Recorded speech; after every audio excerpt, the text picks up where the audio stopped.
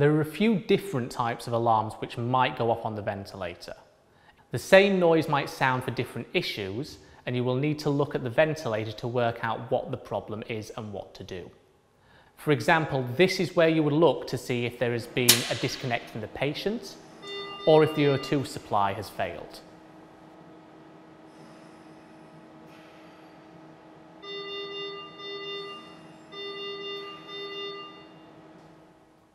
If you are unfamiliar with a ventilator and looking after a mechanically ventilated patient, don't worry. Anything that goes wrong can seem quite scary, but if you stick to a calm, logical and methodical approach, you can resolve a lot of problems. As ever, the approach you'll take will be in the ABC format. A, check the airway.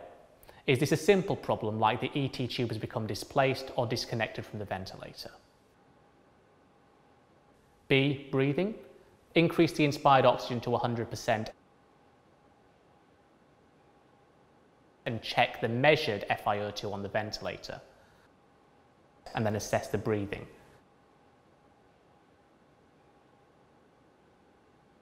Does the ventilator seem to be delivering the breath that you're expecting? Look at the graphs. Is the capnography trace still present? And if it is, is it normal? Are the volumes that you've programmed actually being delivered? C. Has a circulation problem led to a ventilation problem? For example, if you've suddenly lost your end tidal trace, has a lack of cardiac output meant that the patient is no longer ventilating? Is the patient in cardiac arrest? Could a lack of pulmonary blood flow be affecting gas exchange? Ultimately, if there is any doubt or if there is anything we are concerned about, you can call for help. It will always be available to you.